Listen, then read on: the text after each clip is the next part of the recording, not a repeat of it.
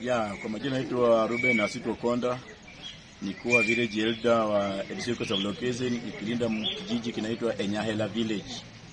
Mimi mwenyewe tangu nianje kazi ya village elder nilikuwa nimekifanya hii kazi na changamoto tofauti tofauti. Changamoto ya kwanza kujulikana na wananchi inakuanga shida.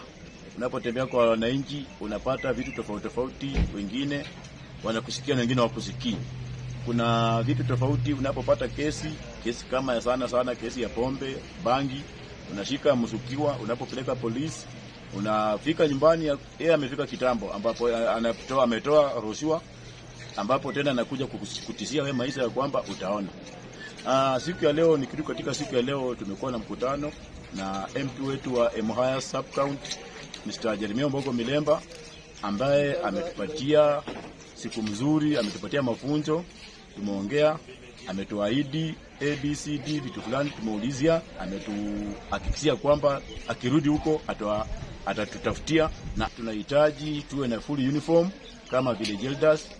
Kitu ya pili tunahitaji education iendelee kuwa na nguvu. Kitu ya tatu tunahitaji maji katika mitaani. Kitu ya nne tunahitaji stima na security yetu iwe kali.